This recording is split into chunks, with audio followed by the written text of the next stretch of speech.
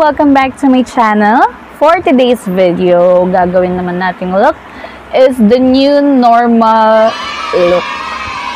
So, alam niyo naman guys, sa panahon natin ngayon, hindi tayo pwedeng lumabas na hindi tayo nakamask, wala tayong alcohol, as, as much as much as possible nga, 'di ba, kailangan hindi tayo pala hawak sa mga bagay-bagay sa labas na laging na-expose sa maraming tao.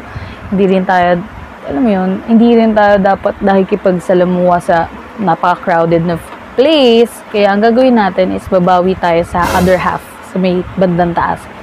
So, oo, makakatipid tayo kasi biro mo hindi naman full face mo. Kailangan lagyan mo ng makeup. Pero, nakakalungkot pa din, nakakalungkot pa din isipin na 'di ba? Nakaka-miss din yung maging normal. Pero mahirap na bumalik sa normal ang lahat. Nahihirapan na tayo. So ayun, ang gagawin natin today, samahan niyo akong gumawa ng makeup look na pang new normal na. So first, mag-proceed tayo sa primer. And, syempre, lagi ko naman sinasabi, huwag niyong pagpapapansinin yung mga tigyawat ko dyan. Hindi na ako matutulog. So, ayun guys, since half na lang naman ng face natin yung ma-exposed, bonggahan na lang natin sa mata. So, prime nyo lang yung eyes nyo using any concealer. So, isiset ko lang yung um, concealer, yung primer ko dito sa eyes using this one. Parang powder lang siya, parang translucent powder. So, hindi ko suot pala yung mic kanina. Naglagay lang ako ng tape here kasi hindi ako pantay. So, ang gagawin na natin is magpo-focus tayo sa mga warm undertone, mga warm colors lang. So, gamitin natin is itong brown here. From Detail Makeover, this one. Alam niyo na to. Wala naman ako ibang ganong ginagamit na eyeshadow palette, kundi uh, detail, kundi detail at beauty glaze.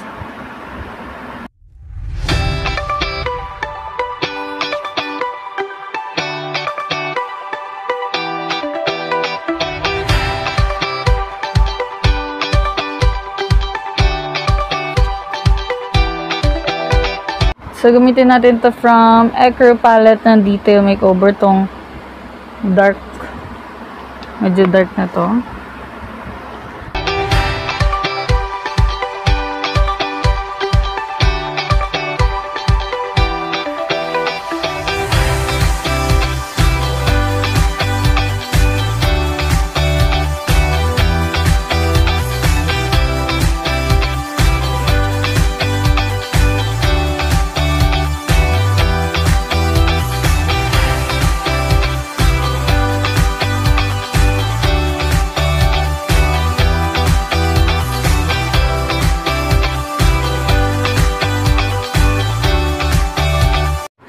Next guys, kukuha lang ako ng medyo orangey dito. As in, super warm kasi gusto ko eh. Ito.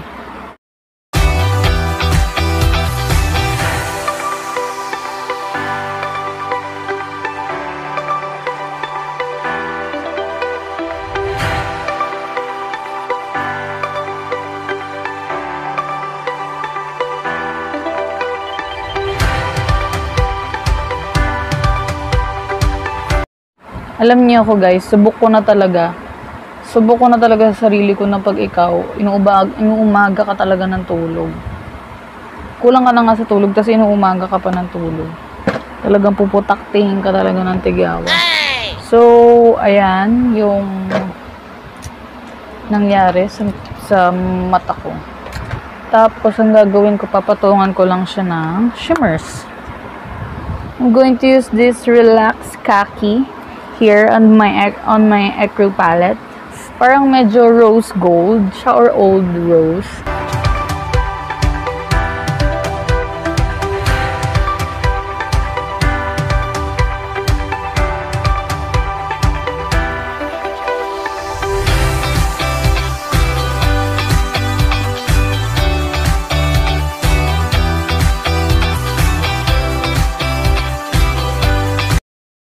We'll proceed sa liquid eyeliner.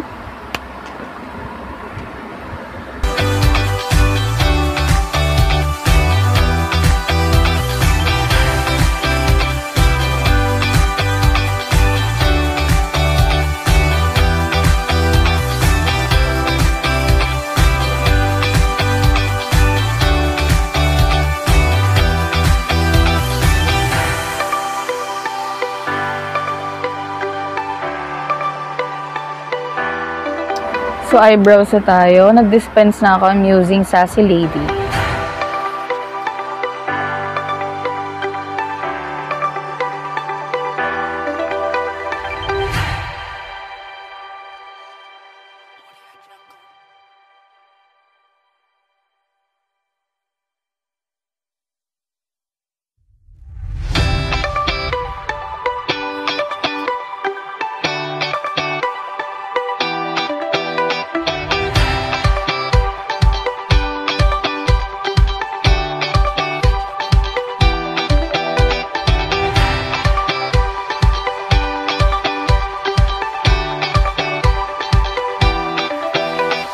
Set ko na yung eyebrows ko using eyebrow powder.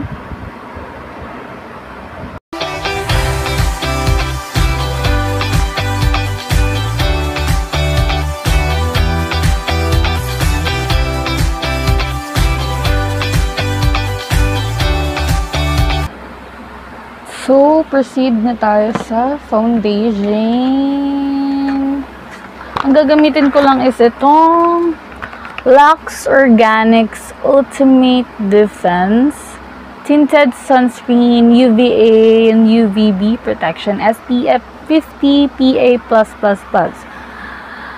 I'm in the shade Warm. Dapat magkakaroon ako ng review regarding this kaso ayan ginamit ko to sa labas sobrang dumikit-dikit lang siya sa mask ko ang messy. Pero, okay lang yan. As much as possible, iwasan natin ma-keme sa may huwag na natin ganang lagyan yung part kung saan tignan nyo grabe din yung coverage niya. Grabe yung coverage niya kahit na medyo liquidy siya. Ang fairness naman, no.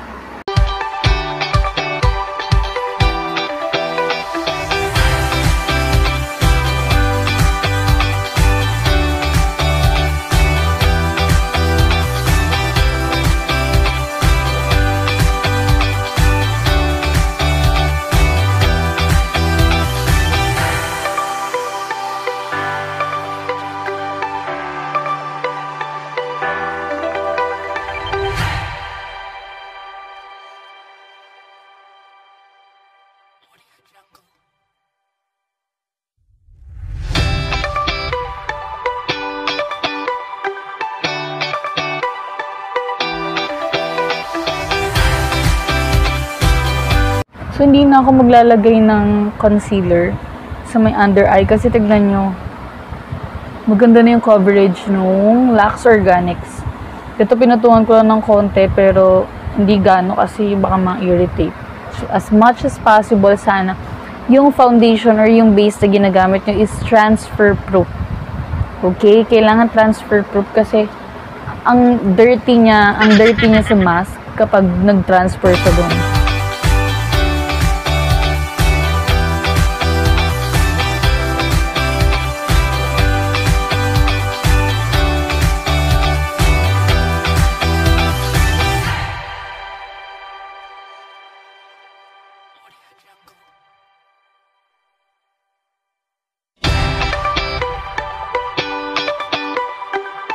So, magkukontour ako, guys. Pero, dito lang sa may taas.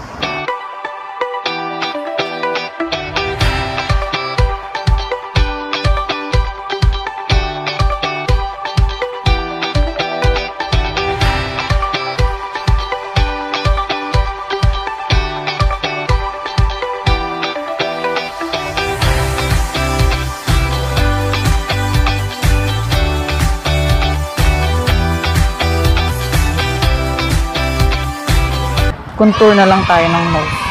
I-snatch natin yung nose natin.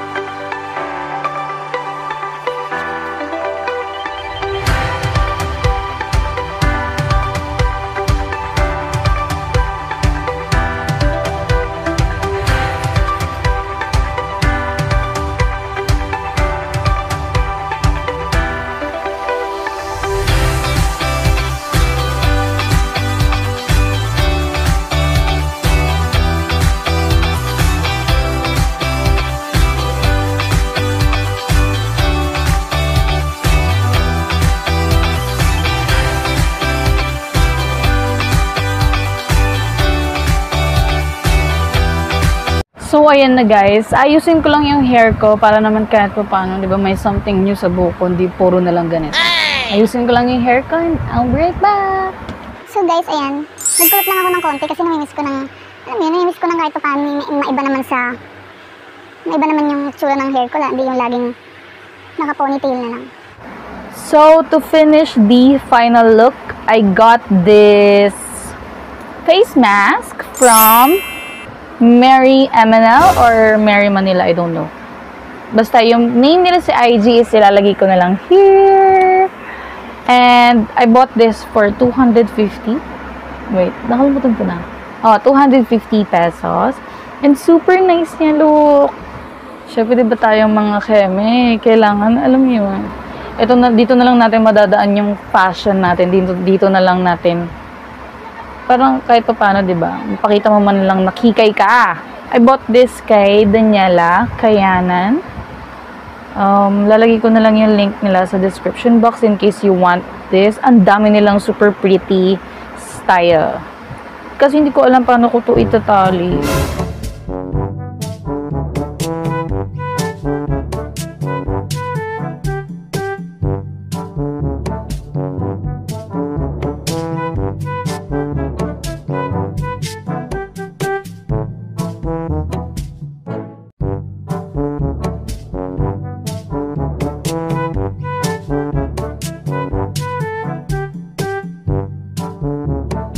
But there you go.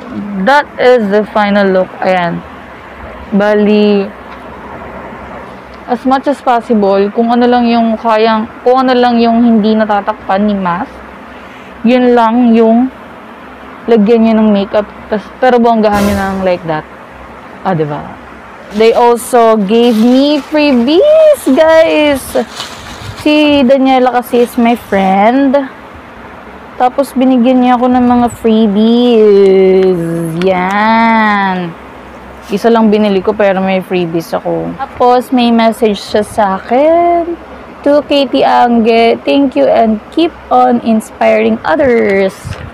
From DGC. Thank you so much, Daniela. So guys, kung gusto niyo umorder, 250 pesos lang. Tapos ang dami-dami, super pretty. Super gaganda ng mga ano nila. Alam mo, witty yung ganito. Kasi alam mo yung mga tulad nating mga arte. Yun lang. I hope you like this video. See you again on my next vlog. If you have any suggestion na pwede nating i-content, guys, ibigay nyo na sa akin. Also, guys, don't forget to give this video a thumbs up. Walang bayad yun. Free lang yun. Also, subscribe on my YouTube channel kung hindi ka pa nakasubscribe. Free lang din yun, di ba? Free lang din yan. Since pinanood mo ako, di ba? Don't miss. Don't miss the subscription button. And also the bell button. Sige na, pagtsagaan nyo naman ako. thank you, thank you so much for watching this video. Bye!